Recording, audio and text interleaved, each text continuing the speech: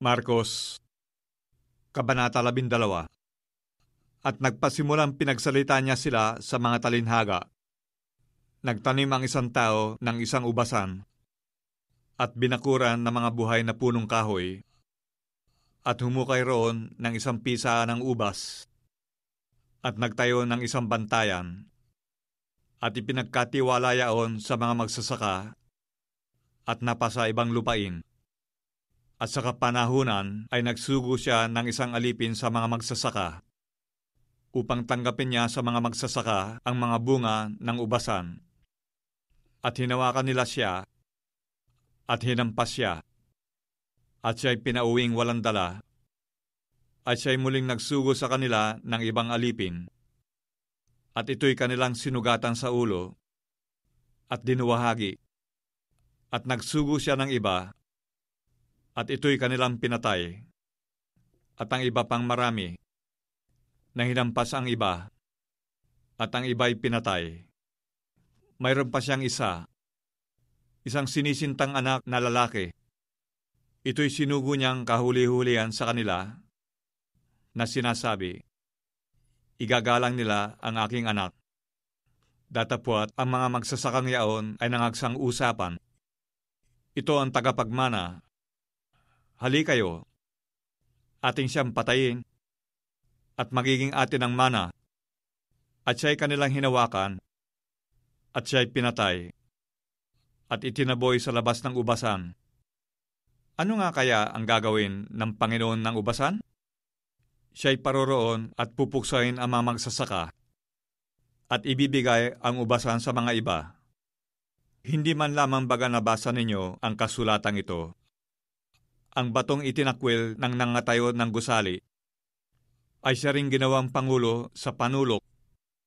Ito'y mula sa Panginoon, at ito'y kagilagilalas sa harap ng ating mga mata, at pinagsikapan nilang hulihin siya, at sila'y natakot sa karamihan, sapagkat kanilang napaghalata na kanyang sinalita ang talinhaga laban sa kanila, at siya'y iniwan nila at nagsialis at kanilang sinugo sa kanya ang ilan sa mga pareseo at sa mga Herodiano upang siya'y mahuli nila sa pananalita.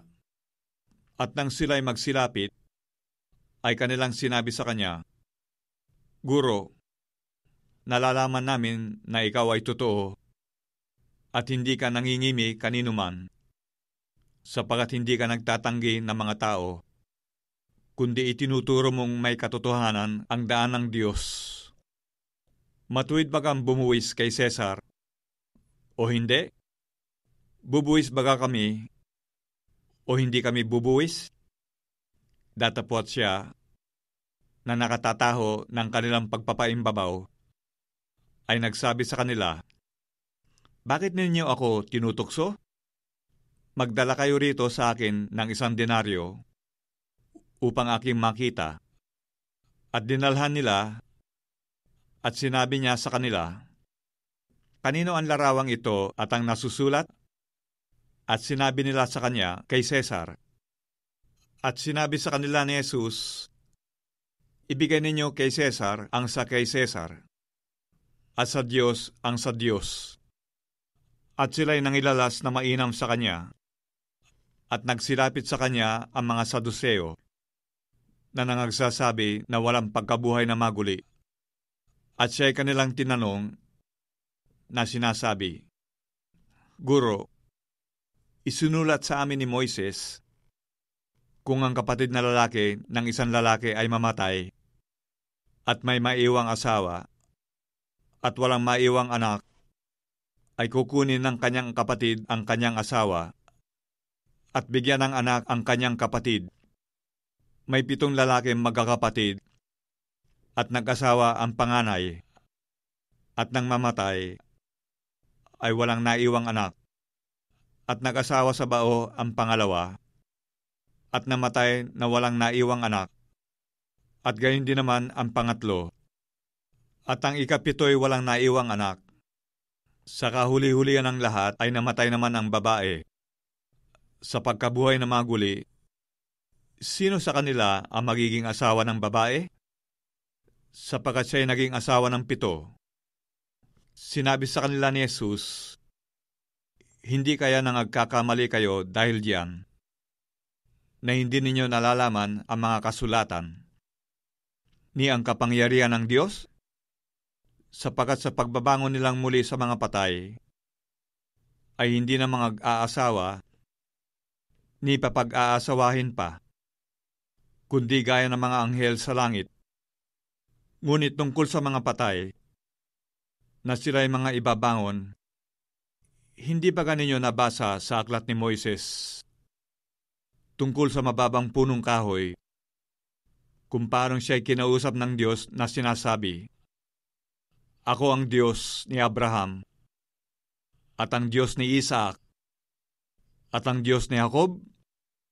Hindi siya ang Diyos ng mga patay, kundi ng mga buhay kayo nang nagkakamaling lubha. At lumapit ang isa sa mga iskriba at nakarinig ng kanilang pagtatalo. At palibhasa ay nalalamang mabuti ang pagkasagot niya sa kanila.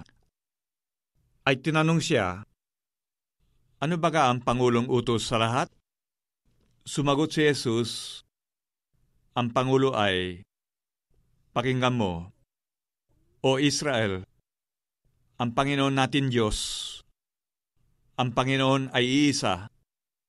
At iibigin mo ang Panginoon mong Diyos ng buong puso mo at ng buong kaluluwa mo at ng buong pag-iisip mo at ng buong lakas mo. Ang pangalawa ay ito, iibigin mo ang iyong kapwa na gaya ng iyong sarili. Walang ibang utos na hihigit sa mga ito at sinabi sa kanya ng iskriba, Sa katotohanan, Guro, ay mabuti ang pagkasabi mo na siya'y iisa, at wala nang iba liban sa kanya, at ang siya'y ibigin ng buong puso, at ng buong pagkaunawa, at ng buong lakas, at ibigin ang kapwa niya na gaya ng sa kanyang sarili, ay higit pa kaysa lahat ng mga handog na susunugin at mga hain.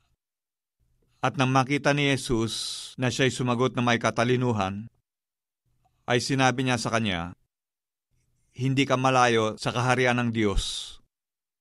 At walang tao, pagkatapos noon na nangahas, na tumanong pa sa kanya ng anumang tanong. At sumagot si Jesus at nagsabi nang siya ay nagtuturo sa templo, Paano masasabi ng mga eskriba na ang Kristo ay anak ni David? Si David din ang nagsabi sa pamamagitan ng Espiritu Santo. Sinabi ng Panginoon sa aking Panginoon, Maupo ka sa aking kanan, hanggang sa gawin ko ang iyong mga kaaway na tuntungan ng iyong mga paa. Si David din ang tumatawag na Panginoon sa kanya. At paano nga siya ay kanyang anak? At ang mga karaniwang tao ay nangakikinig sa kanyang may galak. At sinabi niya sa kanyang pagtuturo, Mga-ingat kayo sa mga eskriba na ibig magsilakad na may mahahabang damit at pagpugayan sa mga pamilihan. At ibig nila ang mga pangulong upuan sa mga sinagoga at ang mga pangulong luklukan sa mga pigingan. Silang nangananakmal na mga bahay ng mga babaeng bao at dinadahilan ay ang mahahabang panalangin. Ang mga ito'y tatanggap ng lalong malaking kahatulan. At umupo siya sa tapat ng kabangyaman at minasdan kung paanong inihuhulog ng karamihan ang salapi sa kabangyaman.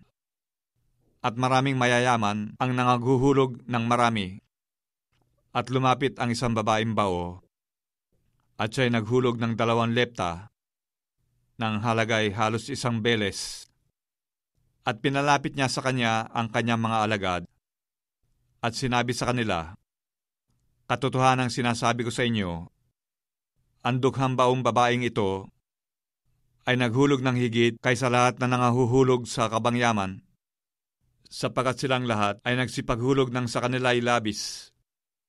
Datapwat siya sa kanyang kasalatan ay inihulog ang buong nasa kanya. Sa makatwid bagay ang buong kanyang ikabubuhay